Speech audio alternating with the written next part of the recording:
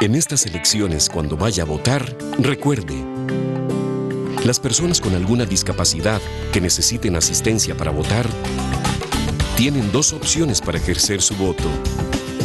Hacerlo públicamente ante el presidente de la mesa o con la ayuda de una persona costarricense de su confianza que le asista en el proceso.